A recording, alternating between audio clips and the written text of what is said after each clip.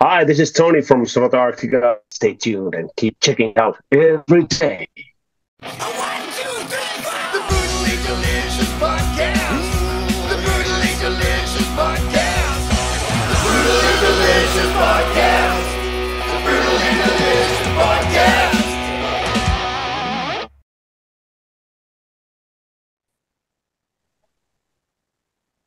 Hello, Tony. Hello. Hello. How How, are you, Bruce?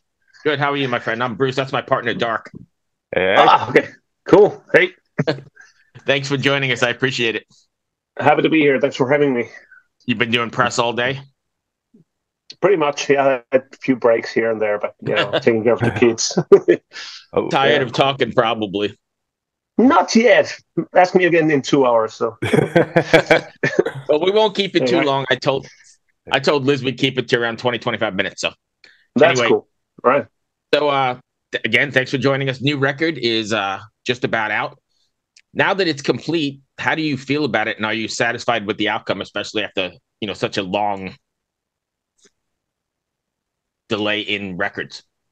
Mm, yeah, well, we are very happy with it. From our side, the album was ready already uh, at the end of August. That was the schedule, and it, came as a huge shock for us that the, uh, you have to wait like at least five months bet- bet- between you know uh, getting out Right. the master and then, then actually having having the album out because of the vinyl situation. They're like, Right. uh, it's it's it's a nightmare, and that was a huge shock. Our idea was to have the album out already in October when we went out on the European tour with uh, Stratovarius. Right. but that didn't happen. But we were very luck- lucky to have uh, at least one single out at that point, so it helped Is a it lot. to- and uh, is it tough to sit on it for that long like knowing it's done and wanting to get it out there and then you're relying on everybody else to to make it happen Yeah. Jesus, yes, you know, and uh, you know, having now going back to the album and everything was fresh. It would have been easy to remember everything in October, but now I have to study the lyrics and everything much more. And then you know, when people are asking me a question, and I'm like, hold on, I need to check that out. so Nice. hopefully this one won't be like that too much. But you know, I'm I'm still learning the album myself again because it, it's a long time to wait half a year almost. right you end up having to put a teleprompter down there for the lyrics right because it's been so long Pretty much, I know. Luckily, we're not have, we're not playing the whole album live. Maybe like three, four, five songs to start with, anyways. And, Right. and, you know, but already last weekend we shot the video for the next single, and I had to obviously, for the sake of lip sync, I had to Right. study. Which, which one was that? Which song is that? Um, I suppose it's okay to say "Dark Empath." Oh, Dark Track Empire. number four. Yeah, it's number four from the album, and then that song is continuing the uh, the end of this chapter. Caleb, don't say a word saga. So yeah, Hey, very nice, very nice. yeah, yeah. By the way, have you heard the album yourself? See it? yeah I've we heard- got it just the other day yesterday dark when we get it yesterday You sent it to me at like Yeah. nine thirty last night, so Yeah. um, it's that was So it's you- nine yeah. thirty in the morning American time right now. So no, I haven't had a chance to listen. Um, I've heard uh, First in Line and a Monster Only You Can't See, and you know those yeah, the, the singles. Yeah. yeah. Yeah, When, cool. When's Dark Empath coming out? Um, around I think early February. Depends on when we get the video finished. It should have been like late this month, but Mhm. I'm sure. We'll see. We'll see. so fair disclosure i i never had really heard about sonata arctica until 2011 uh 70000 tons of metal i kind of just cool. went on the boat got invited by a friend that was like holy moly i had never even heard of you guys and now you know i've been a fan since So. Hey, uh, cool. have you guys been back on that boat at all Uh, once, yeah. 18. We were that. That was the first one, right? yeah 2011 right Yeah, yeah. I don't know how many they've had since, but uh, we've been there twice. Yeah. It's, Okay. it's fantastic. It's amazing. Yeah, we're Yeah. getting ready to go here again in uh, about a week and a half or so. hmm Oh, I wish. Speaking of, are you on? Tony, are, are you on this? Oh. There's talk of like This one, surprise no. announcements. You're no, not on. no, no, no, no, no, no, no. We're not. We have in a promotion cycle here right now. We have a lot of other things to do, and and, and still not touring. The tour starts along the same time with uh, the album release in early March from Finland, and then goes to Europe in September after the uh, summer festival season, and and and so forth. No other solid plans yet, but I'm sure Latin America and hopefully Right. North America will be in the cards as well later on. So, yeah, that was like what I was really wondering about. I, I think you haven't toured the U.S. since it was a 2019 tour with Kamelot and Battle Beast. 19, yeah, Yeah. yeah. W- yeah. What's up with that? Well, well, we haven't uh, had anything out much after that, mm-hmm. and then there's was like this thing. They what what did they call it? Corona. Yeah. Yeah. happening, which made things a lot like very difficult. We were supposed to go on our 25th anniversary tour to Latin mm-hmm. America. Uh, sometime like was it like March 2020? Yeah, that's and about it. now, uh, yeah, and three years later, uh, we actually managed to do that tour, and that was the last thing that we crossed from our, you know, Mhm. past Right. sins kind of thing. And the last co- Corona dips. Yeah. Do you find it difficult? You guys been around so long, um, not writing the same record. Like I know you have to, you have your wheelhouse and you have your fans, but you also don't want to write the same previous record, right? Does that make sense? Yeah, it does. Yeah, um, like well, right. there are bands that are doing it with with great success, like seemingly writing the same album again and again and again. And right. again. That's what I was trying to say. is something that is that is something that is accepted uh, and ex- like expected from them as well. Uh, like ACDC, for example, right. they they should not drift far from the mold. Anyhow, I think our mold is somehow stretchy, flexible, and, and then uh, from the get go already we had like different styles embedded in our uh, musical identity in a way. So it, it gives us freedom to do a lot of things. But along the years, I think we drifted and broke the mold a little bit here and there, and and and. Uh, uh, we always had few songs that s- somehow fit the original Sonata Arctica thing, but there, in some point, we drifted too far. Intentionally, Uh, or is that just in- something it- that happens? It was it was both intentionally and then like sometimes you get too lost in your own bubble somehow there, and then you can't see the trees from the forest or the forest Yeah. from the trees kind of thing, and and and, and you just don't reflect and bounce your ideas through other people.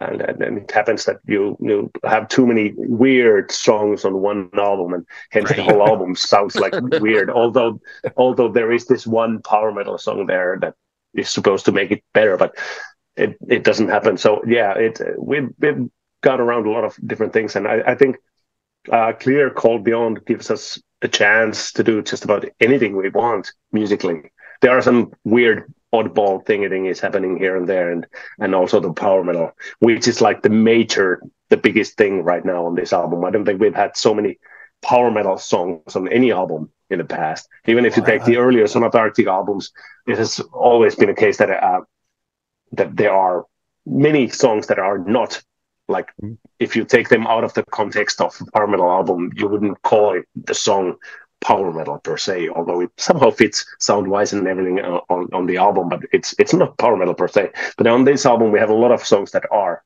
that you would put them in the power metal basket if you were shopping. So yeah, you're gonna love it. Oh yeah, Shopping. I, was, I, I would not just speaking for myself, but like um, bringing up the seventy thousand tons of metal. That's a community I'm pretty active in. When First in Line dropped, a whole lot of us were like, "Oh my god, yeah!" Because I mean, a lot of us like love that style. So you're saying that's more typical of the upcoming album? Yeah, and the second track on the album, California, it's it's even faster. What? And then uh, yeah, and Dark Empath is like if you like don't say a word. I don't know if that's Yeah. that's like that like medium tempo song. yeah, like, but anyway, there's that kind of stuff is is there plenty. And Cure for Everything is a power metal song, Mhm. fast, and Angel Defiled is very fast, and and yeah, so forth. So Wow. Uh, that's the best news of the year so far. yeah, yeah. Interesting. So- So interesting. So you brought up previously, like, um, you you have kids now, right? Yeah, yeah, two. So obviously, like you were saying, there was a musical evolution from the era of Ecliptica, where there's a lot of double bass and such, and even like Winterheart's Guild, and then you know you start becoming a bit more melodic, probably a bit more heartfelt. Um, I don't know when your Hmm. kids were born, but do they factor into that?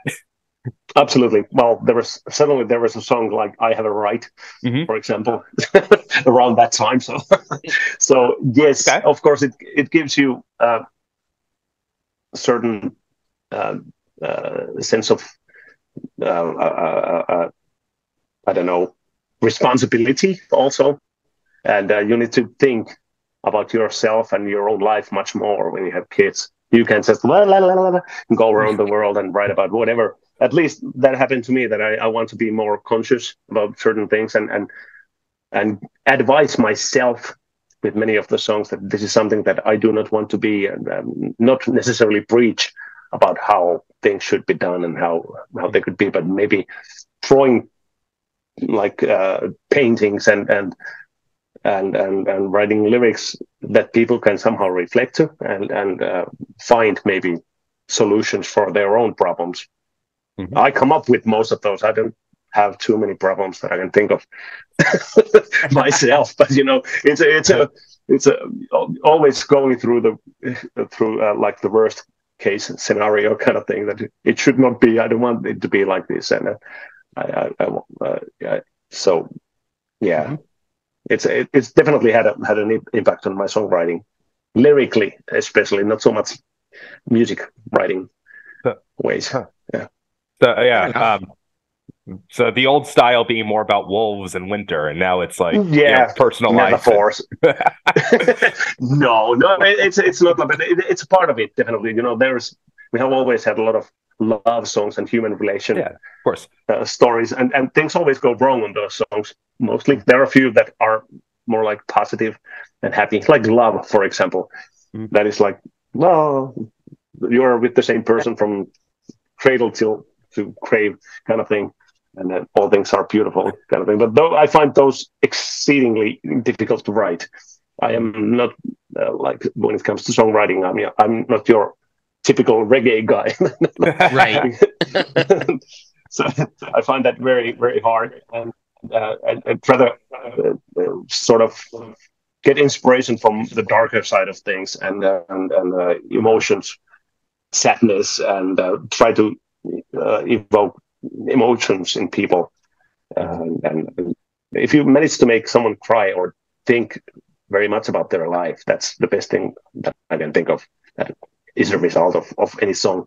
And uh, every now and again, many times a year, I get messages from people that uh, they would not be on this planet anymore unless they have heard one of the songs. And, and, and it's just blows your mind Sure. that your song has such a power and and uh, when you are writing the song you cannot even understand that because the song for you when you write it, it the meaning that you have in mind might be totally different than the one of that of the the uh, p- person who listens to the song. And and and it might be just one line in the song that sort of turns the twitch the switch in your head and and it's it's it's So do you feel a sense of responsibility then to your fans when you're writing? well, yeah, there's this saying that you are responsible of the souls that you save, but uh, no, in that sense, no, I no, no, I don't. Uh, it would be an awful stress to have, but I'm just very happy when people tell me these things. Obviously, because it gives me uh, a sense of reason. And, and, and uh, motivates me to keep and, and gives me the feeling that I'm on, doing something right. When it, uh, at the same time, you get like a lot of criticism from people that it, your lyrics are not power metal, and uh, I just don't give a hoot and doot at all. Anything, I don't care. So why would I? When at, at the same time you get like really positive things from the other side. Does power metal even have a definitive lyrical style? Like musically, yeah, it's got like you know the lead guitar and the double bass drumming, but like everything from like Rhapsody style, like you know swords and sorcery to wolves in your case, or I I don't even know what Kamelot sings about most of the time, but like you, you get shit for lyrics. Uh, yeah, I, I do. You know, even from especially from the get go, having songs like "Ta la la," Yeah. blah blah whatnot. But You cannot. they, they, those are not metal lyrics, and, and they are probably not, and most mostly are not. This is something that I've had to study a little bit. That that I can even bring some some metal thing and something that can be accepted by the metalheads into our music. because naturally I'm writing about something totally different and uh, just whatever pops into my, my mind and or something that touches me. Mhm. And uh, whatever I write, if it doesn't, uh, you know, spark any emotions in me, then I, I don't think it, it's worth writing. I don't usually write about any bippity boppity whatever shit. You know, it's, it's, it has to have some some weird meaning to me at least. You know, at least one line in the song has to have a solid meaning, so that it Wow. makes makes it worth for me. And then then you can write a lot of uh, supporting lines around that one uh, uh, sort of key line that you have in the song. That's an interesting style. For that matter, like, isn't Tallulah like uh, Tallulah? I think that's your most streamed song on Spotify. Who's complaining about it? Yeah, I think that there are some weirdest shit going around with that song. You know, at least in Finland, there is this challenge. that you do the plank? You know, the planking. The when you do planking, like Oh, planking. but Oh, you say oh, yeah, planking. Yeah, plank. planking. Yeah. So it's a Tallulah plank. So you count how many times you can listen to the song while planking. So like some people have managed to go from they originally they only got through the first verse and they they were done. That's now funny. they get to 11, 11 Tallulahs. So it's a That's it's a, funny. it's a Wow, yeah. interesting there. What does a Sonata Arctica audience look like or crowd look like these days, right? I imagine it's super multi generational because you've been around so long, right? Yeah, it's it's um, anything from old geezer in their seventies or eighties, at least the ones that look like have gray hair. Right. Shit, yeah, exactly. Yeah, that looks good.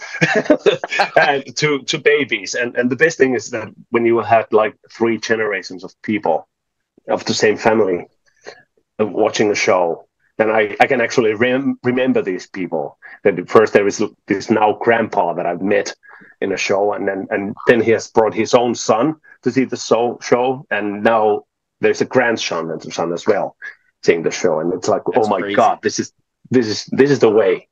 This is the way. It's it's it's, it's yeah. really crazy. It, uh, Yeah. All right, so that, that's crazy to me. I, I would never have thought like you know a band like ACDC or Kiss or something like you know having grandparents and grandkids.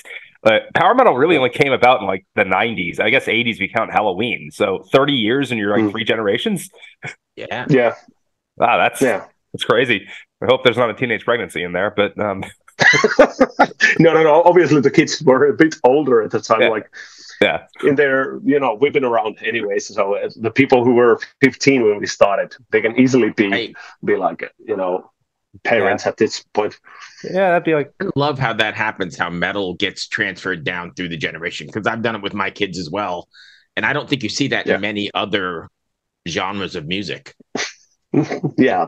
Well, I would not know honestly, but but still, it is something that I, something I, I I get to see there, and it, it's a fantastic thing. And and we have luckily we have like healthy amount of ladies in the front row always still. And Right. so we are we do not get these leather studded leather kind of guys too much.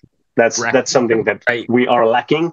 Whether or not that's a good thing, but I, I, I like my uh, father-in-law always said, or actually, his friends told him when he only had daughters that uh, you know, uh, girls bring boys.